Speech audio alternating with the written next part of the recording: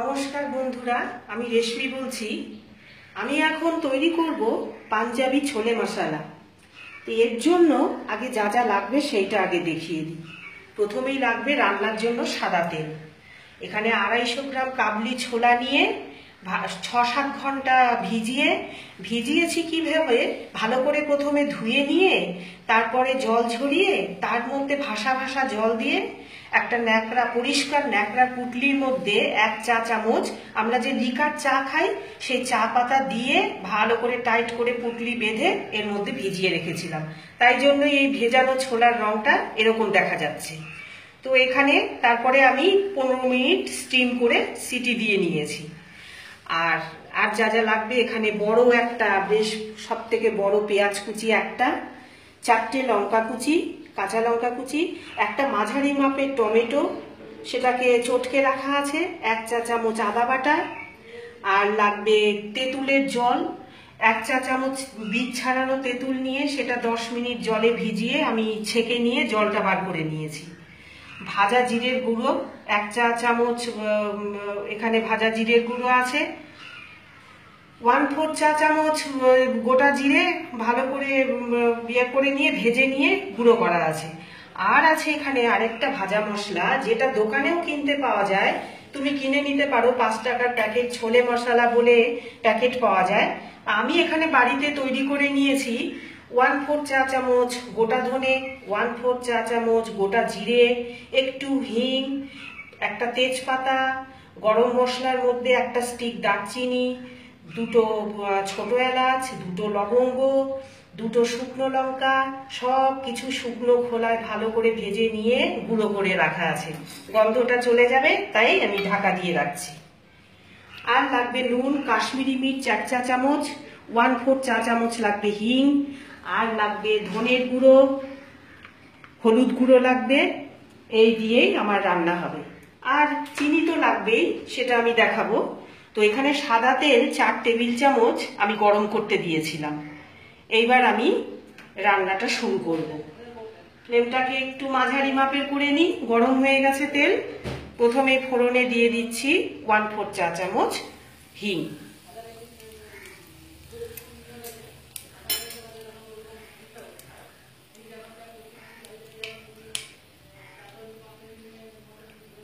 এবার দিয়ে দেব পেঁয়াজ কুচনো।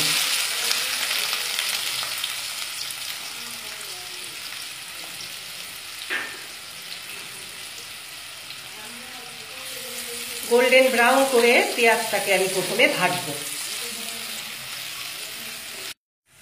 গোল্ডেন ব্রাউন হয়ে গেছে, এবার একটু জল দিয়ে দেবো। সামান্য একটু জল, মশলা কষতে হবে। প্রথমেই দেব আদা বাটা।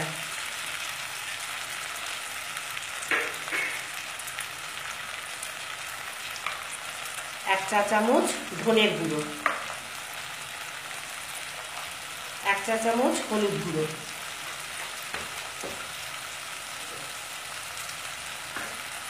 লঙ্কা কুচি।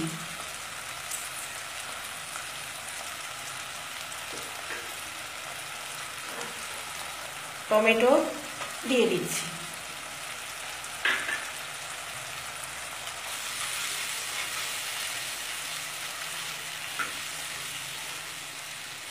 তেল ছেড়ে না আসা পর্যন্ত খুব ভালো করে কষতে থাকব।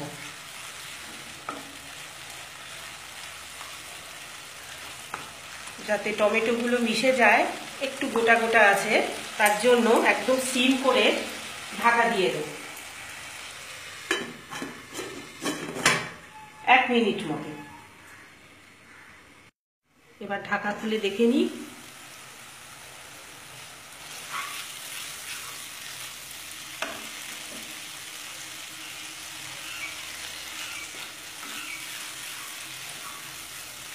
মশলা কষার সময় কিন্তু খেয়াল রাখতে হবে ফ্লেমটাকে মাঝারি রাখতে হবে।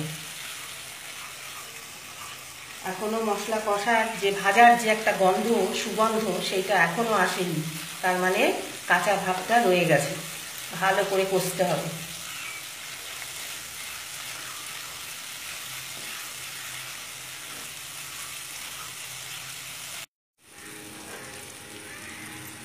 মশলা কষা হয়ে গেছে, তেলও ছেড়ে এসছে। একটা মশলার গন্ধ বেরিয়েছে সুন্দর। তেঁতুল গোলা জলটাকে দিয়ে দেবো আমি।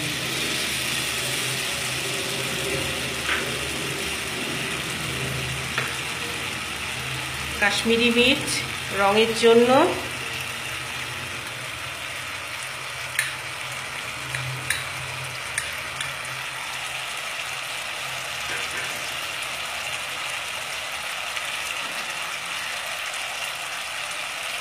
এক চা চামচ লবণ।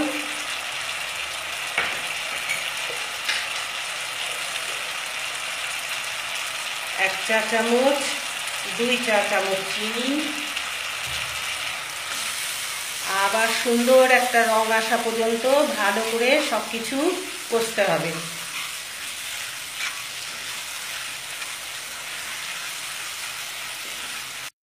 একটা সুন্দর রং এসছে। এবার প্রেশার কুকারে মাঝারি ফ্লেমে চারটে সিটি দিয়ে নিয়েছিলাম। ছোলাগুলো কিন্তু গোটা, অথচ টিপলেই কেমন সুন্দর সেদ্ধ হয়েছে, অথচ গোটা। এই জলটা নষ্ট করব না, সেদ্ধ করা জল। এই শুদ্ধ দিয়ে দেবো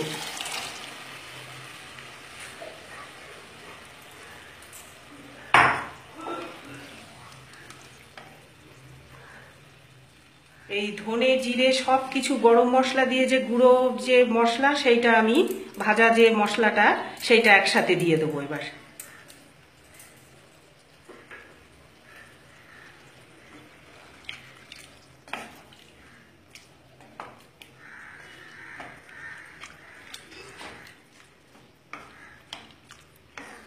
তেঁতুল গোলা জলের বদলে যদি সমস্যা থেকে থাকে শারীরিক শারীরিক কোনো সমস্যা, টক খাওয়া নিষেধ তাহলে কিন্তু আমচুর পাউডার বাজারে পাওয়া যায়, সেইটা এক টেবিল চামচ দিলেই হয়ে যাবে। এবার ঢাকা দিয়ে মশলার শুধু জল শক্ত সেদ্ধই করা ফুটতে দেবো এবার।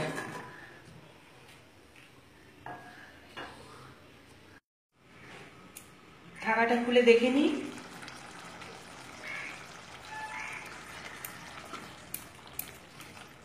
ঝোল ঘন হয়ে এসছে। এবার বাকি যে মশলাটা সেইটা এবার দিয়ে দেবো। ওয়ান ফোর চা চামচ গোটা জিরে নিয়ে গুঁড়ো করার পর প্রায় এক চা চামচ হয়েছে। দিয়ে দিচ্ছি ওপর থেকে। প্রথম থেকে শেষ পর্যন্ত বিভিন্ন মশলার ব্যবহার নামই তো ছোলা মশলা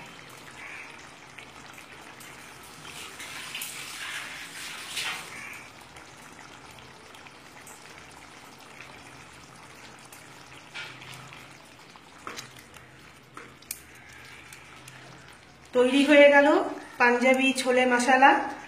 বাড়িতে তোমরা ট্রাই করো। পছন্দ হলে আমার চ্যানেলে লাইক শেয়ার কমেন্টস করো সাবস্ক্রাইব করো।